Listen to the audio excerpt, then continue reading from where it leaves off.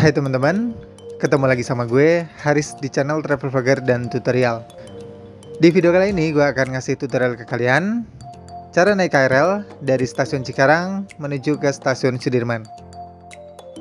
Oke, sekarang gue udah ada di depan dari stasiun Cikarang. Langsung aja kita menuju ke lantai atas, karena untuk gate pintu masuknya tuh ada di lantai atas untuk di stasiun Cikarang.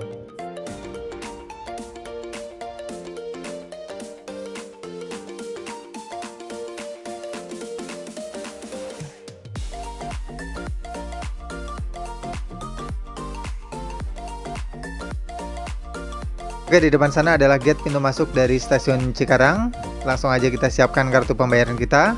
Di sini gue punya e-money, punya tap cash, punya flash, dan di sini akan gue contohkan menggunakan e-money dari Mandiri. Selanjutnya tempelkan kartu di gate yang ada di depan ini sampai lampu hijau menyala, kemudian dorong gate.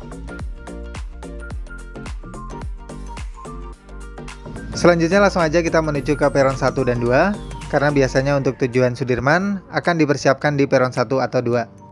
Jadi dari stasiun Cikarang itu ada dua tipe kereta. Yang pertama adalah jurusan Kampung Badan via Pasar Senen dan yang kedua adalah jurusan Kampung Badan via Manggarai. Dan kalau kalian ingin ke Sudirman, pastikan kalian naik yang jurusan Kampung Badan via Manggarai.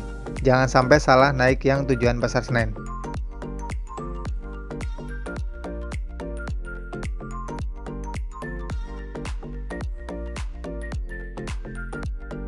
Oke, kebetulan keretanya udah ada, jadi langsung aja kita masuk ke dalam keretanya dan cari tempat duduk yang kosong. Untuk tempat duduknya bebas, kalian bebas duduk di mana aja, tapi kalau bisa kalian jangan duduk di kursi yang ada di ujung-ujung kereta, karena itu merupakan kursi prioritas.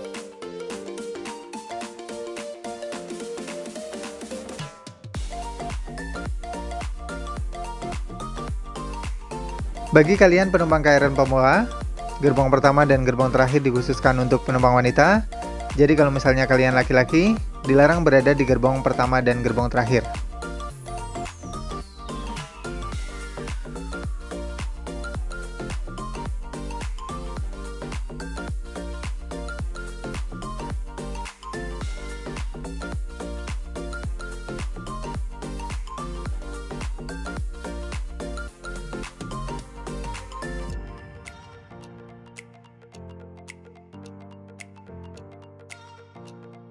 Di atas pintu kereta juga biasanya terdapat rute perjalanan. Kalian bisa lihat. Jadi nanti kalian akan tahu tujuan kalian tuh akan melewati stasiun mana aja.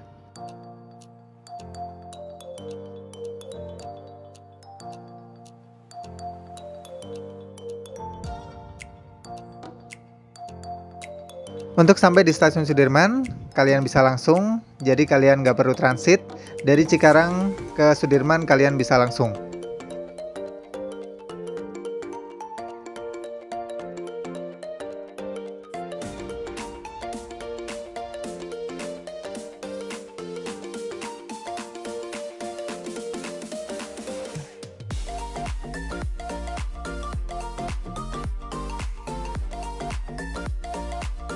Selama di dalam rangkaian kereta kalian masih dilarang makan dan minum, tapi kalau misalnya untuk berbicara, sekarang udah diperbolehkan karena masker juga sekarang sudah tidak wajib ketika kalian naik KRL, tetapi masih banyak pengguna yang menggunakan masker.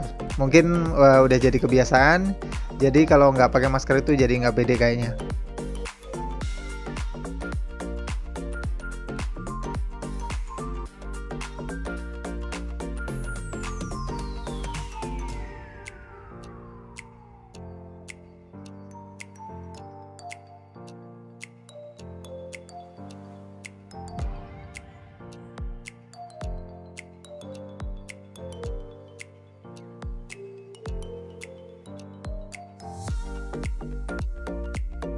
Untuk tarif dari stasiun Cikarang menuju ke Sudirman, Rp5.000, jadi lumayan terjangkau. Dan satu orang wajib menggunakan satu kartu. Anak-anak di bawah 3 tahun itu gratis, dan kalau misalnya tingginya kurang dari 90 cm itu juga masih gratis.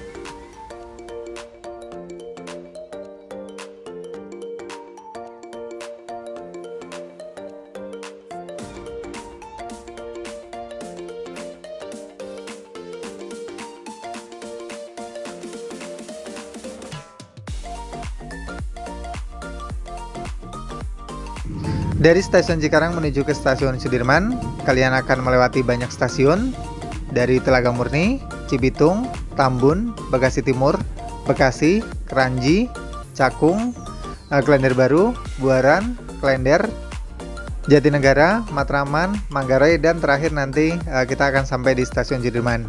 Dan itu masih lanjut terus sampai ke tujuan akhir Kampung Balen.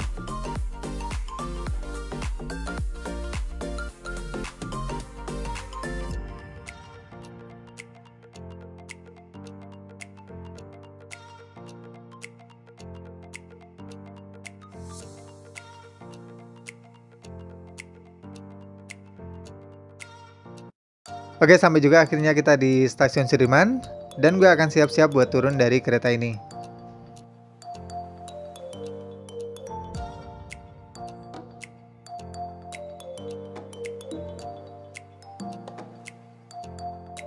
Langsung aja kita turun dari kereta dan menuju pintu keluar dari stasiun Sudirman ini. Untuk pintu keluarnya ada dua, yaitu yang pertama yang di lantai atas dan ada juga yang di lantai bawah. Dan yang di depan gue ini adalah pintu keluar melalui pintu yang di bawah. Siapkan kartu pembayaran kalian tadi, tempelkan di gate sampai lampu hijau menyala, dan saldo akan terpotong ketika kalian tap di gate keluar. Oke, thank you banget yang udah ngikutin petualangan gue hari ini. Mudah-mudahan informasi yang gue sampaikan ini bermanfaat buat kalian. Dan kalau misalnya ada pertanyaan, kalian tulis saja di kolom komentar.